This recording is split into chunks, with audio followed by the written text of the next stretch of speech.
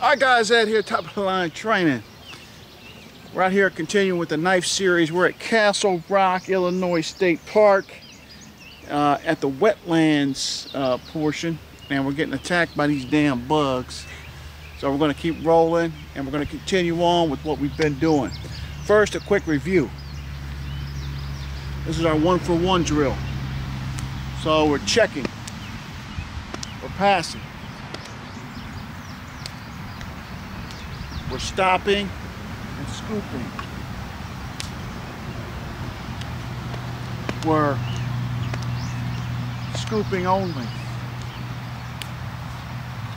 Now for the drill, we go, we may scoop and check here, and you can do that, that could be a technique, and we feed.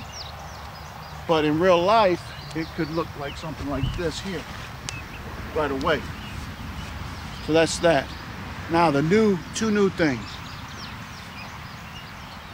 We're, we got our flow going, whatever it is. We're working whatever techniques we want to work in there. We have our angles changing and whatnot. So the first one is going to be stop, cut, and scoop. Come back.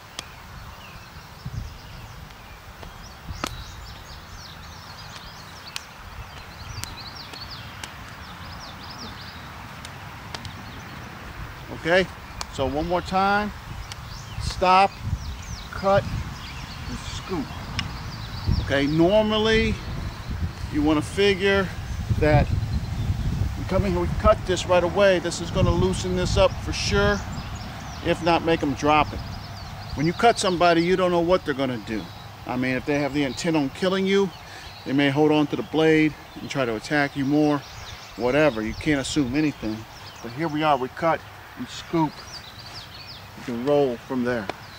The next one, off of the feed, whatever it may be, it's going to be cut and scoop right away. Now, normally someone attack you with a knife, you could cut right away just like that. Or you could cut, cut up and pass, whatever. But this one here, it's gonna be cut and scoop. It goes back to what I was saying. Go ahead. Uh, it goes back to what I was saying. You don't know what someone's going to do. When they feed like this and you cut, you want to presume that they're going to drop that knife. But you don't know. So you pass it right along. Find the advantage. You can even scoop back over it if you want to get control. Come into a lock or whatever. Okay? Now also note from here I don't know where I was, but I ended up down here. I, think I fed the uh, five. Go ahead. So here we are, five, and she feeds one. She fed the one, and I parried it up that way. So you can find any combination of capture, parry, cut, whatever you want to do. Gunting, all of that's in here. But it starts off with the one for one. If you look at the progression, We've went one for one here, stabbing, five angle, two angle, or four angle, depending on what system you're doing. Whatever it is. So here's this. From here, I scoop away. Continue to drill. I just uh, check it there in the low side and continue the drill. I can pass it. I can pass it. So what the next thing is, or the next thing you could do off of the drill, when she passes, you circle around and stab. So I pass, she circles around and stabs right away. So I pass right away.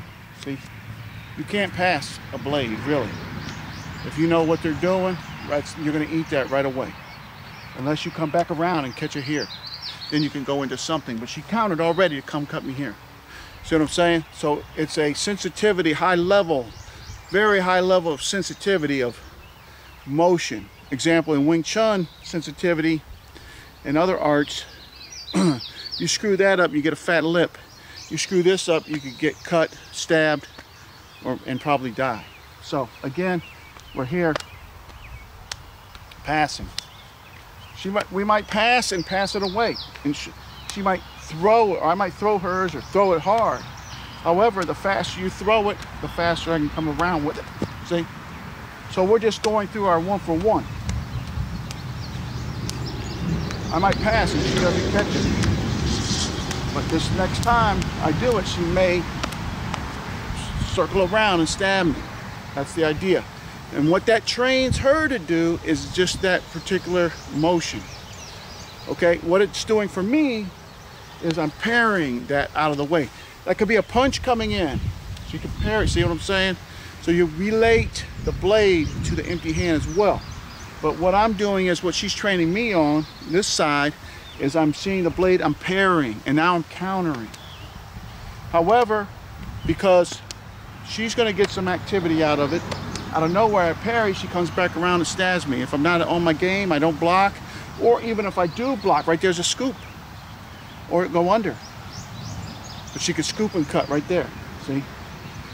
This is uh, nat this is uh, knife fighting 101.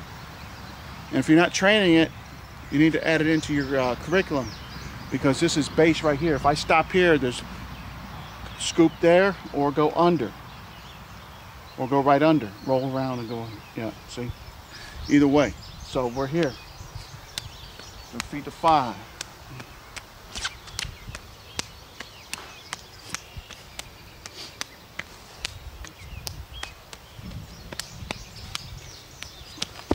See? And I stopped her blade too.